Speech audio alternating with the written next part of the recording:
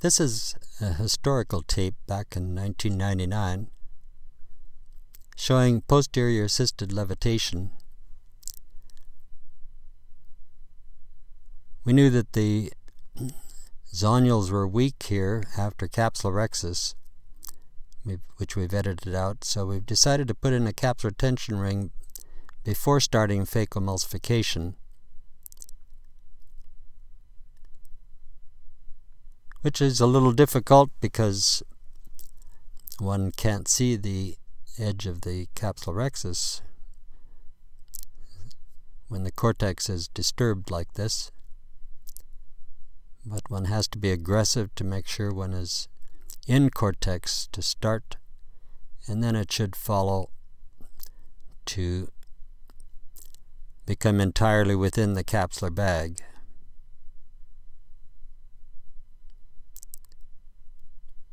Here we're attempting to finish the entry with the Sinskey hook, but it's not working real well.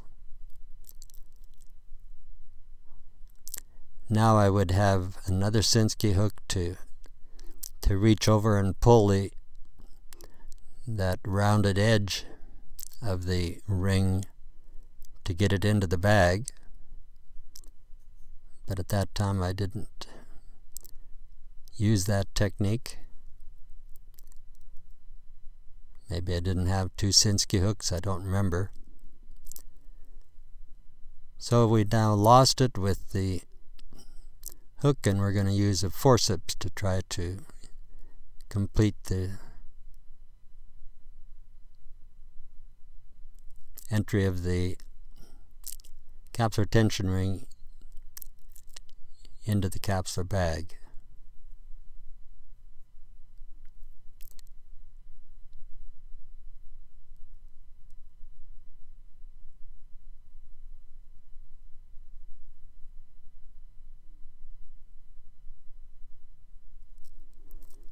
just to be sure that it stays within the bag because sometimes you can release that and it'll come out of the bag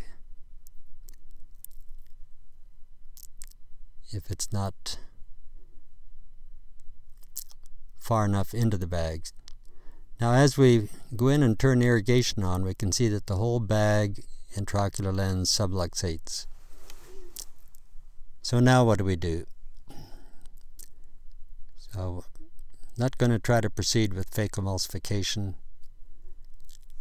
I've decided that we're going to have to be getting that whole lens out of there because it's just not stable enough. I guess with the Cionni ring now, one could have started with that. But this was back in 1999. I'm not sure availability then. But I've decided to convert to extra capsular technique. So I have to make a really big incision because I have the endocapsular tension ring in there and I can't just strip off cortex. So we're going to make an almost 180 degree incision here. And then reposition to operate through that incision.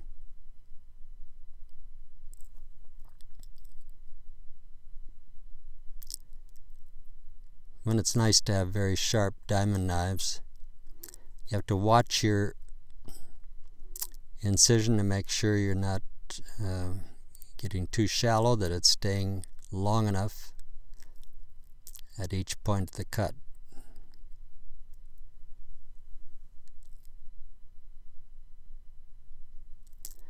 We're putting some pre-placed sutures because the soft eye is more vulnerable to choroidal effusion, choroidal hemorrhage, so we want to be able to close quickly. I'm adding some anesthetic subconjunctivally because this was started as a, a topical case, which in retrospect might not have been a good idea. Now we're going to do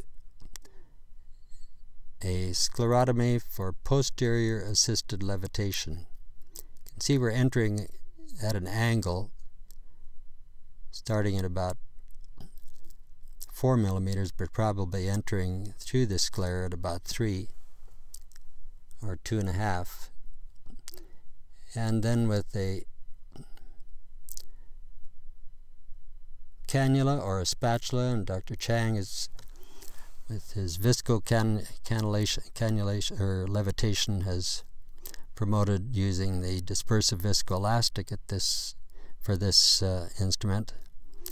And one has to just position that, watching the elevation and make sure you're central and far enough to be able to get the force to lift the entire lens rather than tipping it.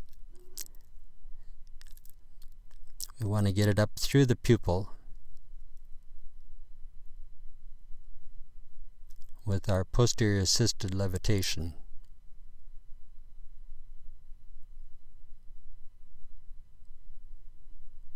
So we don't want to rush this technique because you have to sort of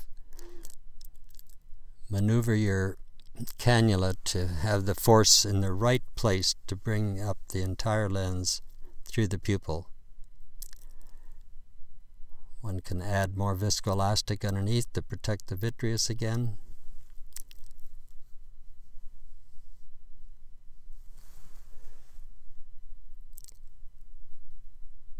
And can add viscoelastic to protect the cornea as well.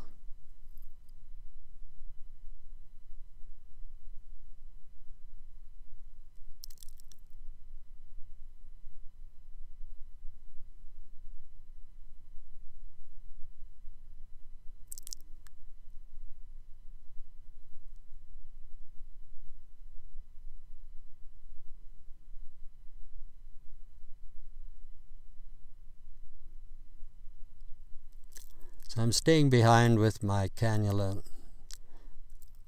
holding the lens up there.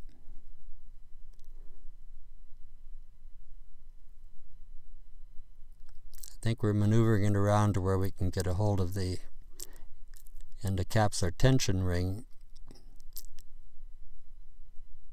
to remove the bag and cataract by grasping the ring.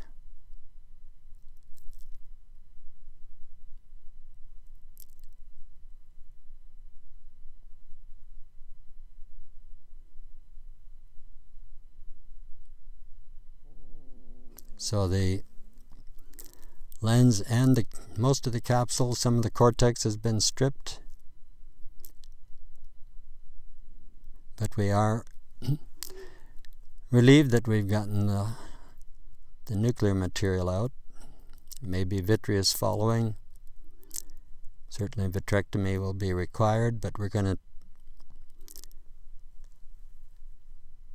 temporarily close the incision. These may have to be adjusted or replaced later.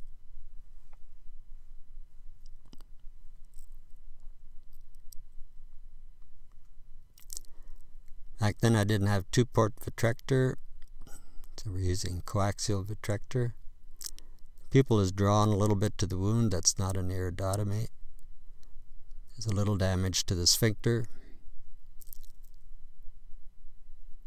But I think we're able to get all of the cortical material as well as anterior vitreous.